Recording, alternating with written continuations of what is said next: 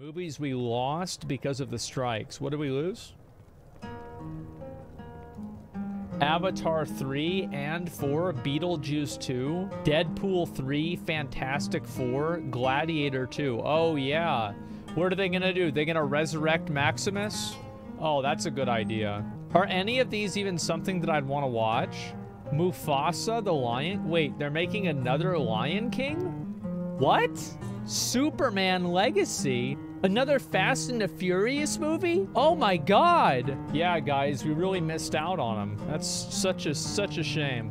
As much as I love Gladiator, it doesn't need a sequel. Of course it doesn't need a fucking sequel.